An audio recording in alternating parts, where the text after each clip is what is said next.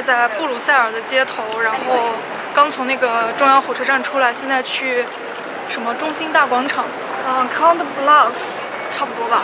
呃，那边有那个很有名的一个地标，就是那个撒尿的鱼莲，是叫鱼莲吗？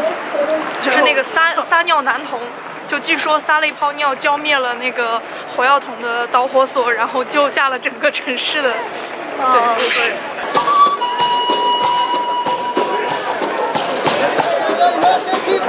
身边这个泛着紫光的、非常妖娆的，就是呃布鲁塞尔的大广场。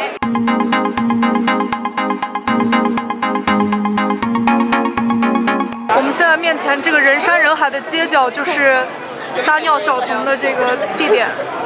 那就是撒尿桶，那个黑不溜秋的。这也太黑了吧！特别小。而且为什么他今天为什么我来他穿了衣服？我姐说并不是每天都在喷尿的，今天竟然在喷尿，还算走运。撒尿小童的像让我很失望，一方面是因为他实在太小了。第二点是因为他穿着衣服让我很失望，虽然我也没有在期待看到什么。然后第三点是，他太黑了，就是脸完全看不清。我以为是一个铜像，就起码那个会有铜像的那个质感。然后就真的是乌漆嘛黑的一团，还人山人海的被围起来。这个粉色的这个好像是比利时的当地的一个啤酒的牌子之一。这个杜小雅给我送过一瓶，所以我还有一点点印象。我现在身后的这家店是一个《丁丁历险记》的漫画周边店。然后本来我们现在面对的这堵墙应该是有一个巨幅的丁丁的一个涂鸦，但是我们俩今天就很倒霉，涂鸦也被白布给遮起来了。脚手架，你看这个石头，它应该是有好多好多个，这个 The Adventure of 丁丁应该有这么多个，应该是在这附近我们探索。我们现在找到了第二幅这个钉钉主题的墙绘，但是可惜的是，这个里面钉钉是以一个影子的形式出现的。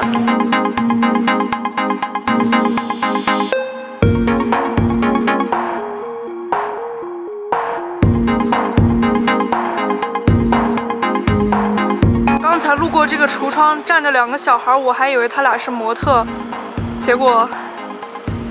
他们是活人。这家店的这个锅让我一度以为他们在做山东杂粮煎饼。我姐要了一个热巧克力，长得太浮夸了。我在意大利从来没有见过这么浮夸的饮品。这个热巧克力配的这个送的这个巧克力，竟然还是 Godiva 的。这是我出国至今吃过的最好吃的餐前面包，它还是火热的。对，是刚刚那个人从那边的烤炉里面刚端出来的。吃到我感动不已。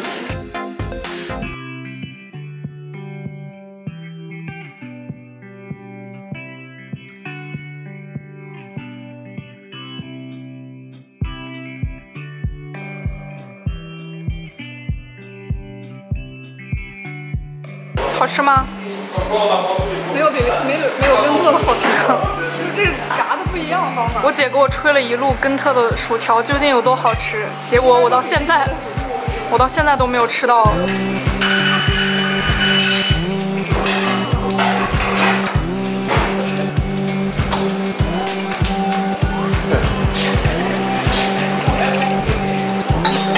这个薄荷茶真的里面就是纯天然的薄荷叶，这不是一个普通的茶壶，这是一个特别具有阿拉伯特色的茶壶。通身通体透亮，举起它来擦三下，神灯啊神灯，大概就有一个神要出现了。How does it pronounce? Giovanni. Javanese. It's Italian. From Italy.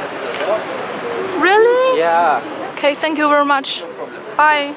And the service is also very good. Avec plaisir. With pleasure. 刚才的这个晚饭可以说是今今天一整天的 happy hour，就是吃的很开心，而且人均也还不算贵。最后那个店家还给我们送了免费的薄荷茶，整个态度非常好。然后那个饭店就是人又很少，就是环境也很好。它是新开的，所以在那个谷歌地图上还找不到它的名字。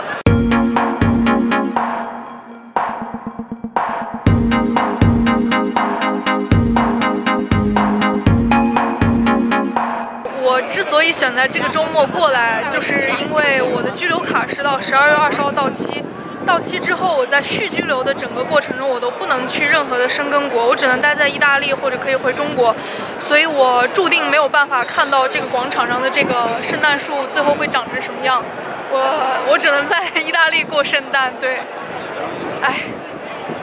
意大利圣诞不是应该也挺好？意大利的圣诞我已经见过了，对，所以感觉比利时真的比比意大利的那种地中海的风格要更精致和可爱一些。对我觉得圣诞节肯定很美。这个撒尿小童的这个开瓶器造型真的是实用与恶俗并重。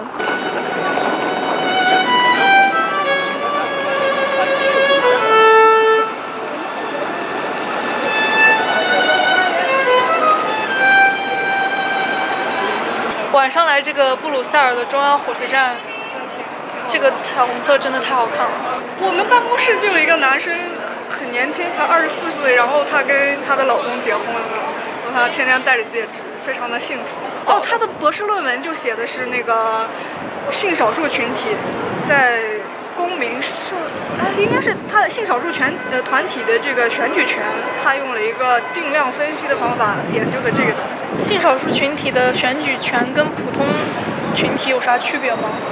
没有区别呀。不不不，就跟就跟女性的那个领导人所占的席位比较少一样，就是可能会导致一些权力上的推行上的失衡啊什么的。啊，类似于这样。我还没有拜读，但是我觉得他那个题目非常的有意思，然后跟他本人的经历也结合的非常好，所以我觉得这是一个非常成功的博士生涯。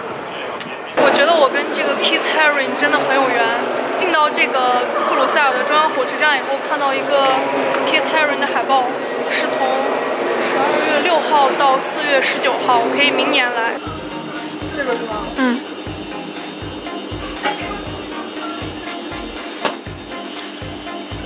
就他要喝的是八的，我只选了个五的。因为不是说比利时的啤酒很有名嘛，但是现在已经十一点多了，我们俩又不太想去酒吧喝，主要是我不太想去酒吧喝，所以就打算买个啤酒回家喝。你给大家展示一下你可爱的便当袋子。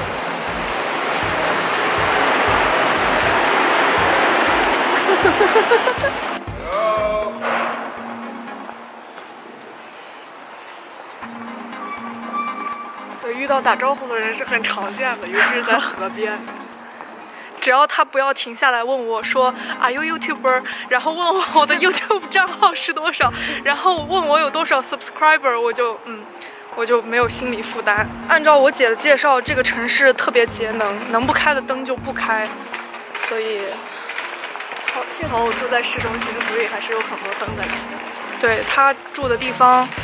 不但离市中心很近，离各种红灯区也很近。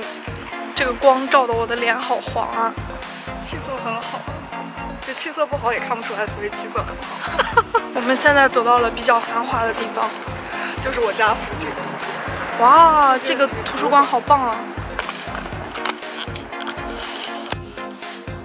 我们面前的这个灯火通明的，就是公共图书馆。